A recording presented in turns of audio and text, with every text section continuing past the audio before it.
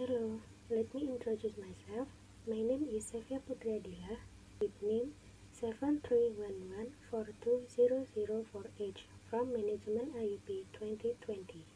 Here, I would like to describe one of businessmen in Indonesia and I want to tell you about networking. Okay, let's go. Hary Tanoe Bambang Hary Iswanto Tanoesoedibjo, or what is often known Hary Tanoe, is a businessman and political figure from Indonesia. He was born in Surabaya on 26 September 1965. He is 55 years old. He grew up in Surabaya. Even the education levels he took were all in Surabaya.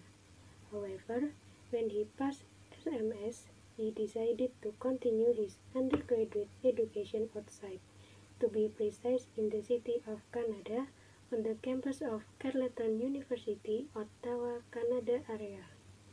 And he also successfully graduated and obtained a Bachelor of Commerce degree in 1988. However, his activities in the world of education didn't stop there.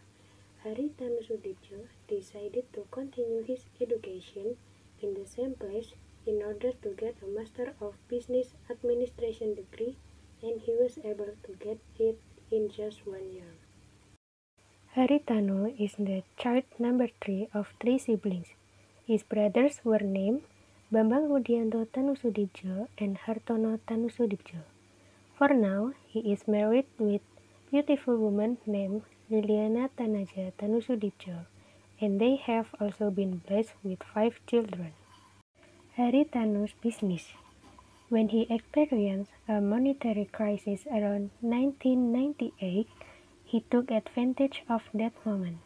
He thought that in a state of monetary crisis, there are many opportunities to get big profits. During the monetary crisis, Many businessmen went out of business and decided to sell their companies. However, Hary Tanoe, who at that time already had Bhakti Investama, did the opposite. He made acquisition and merger with many companies, of course at prices that were not high or cheap. Seeing the condition at that time was a monetary crisis. In 2000, he also took over part of the shares of PT Bimantara Citra Tbk, and over time he became someone with dominant share ownership and decided to change the company name to PT Global Media also decided to merge his company with various other television media, for example, namely TPI, which is owned by Mbak Tutut, or also known as Siti Hardiyanti Rukmana, where she is also the daughter of former President Suharto. Within five years, Haritanu also managed to have a majority stake and then decided to change the name from TPI to MNC TV or Media Nusantara Citra Televisi, although the process of changing this name was not easy, because he had to do a feud with the original owner, Batutu, who in the end he still managed to win. In addition to the national television media, he is also active in radio media. He also succeeded in making Trijaya FM a radio company as well as making cable TV broadcasts under the name Indovision. Network success is down to context, so maximize yours. The key to success at work is to be a good networker wherever you are.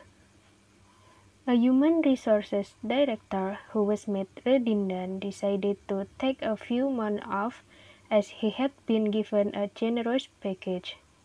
He began to coach the football team at his son's school and got talking to one of the parents also coaching the team. He turned out to be a vice president of a large multinational, which led to a job locally at 10,000 pounds sterling more, and a new football fanatic friend. Whether you're looking for a new job changing careers, networking is the essential tool for gathering information and getting to the right people. According to research by DBM, the career management consultants, more than 65% of clients cited networking as the way they got new jobs. Many came from what is known as a weak tie, meaning that the job offer did not come through someone who was the first point of contact but from someone further away. Often people spend hours searching the web and applying for advertised jobs. But surveys show that 80% of all positions are filled without the employer advertising. They are filled by candidates who come to an employer's attention through employee recommendation, from referral, from trust associates, or from direct contact. Networking is the art of making connections, building alliances, and developing a web of relationships with the potential for mutual benefit. It's a two-way street. There may be ways you can help them too. It can be done anywhere or anytime, on a plane, business or social setting. You probably don't even realize that you are doing it. It's talking to people you know or don't know and developing rapport. You never know who you might strike up a conversation with. The important first step is to smile and be friendly, then to start creating positive impression and making connection. Show interest in others and listen. Most people enjoy talking about themselves, so you can use this tendency to your advantage.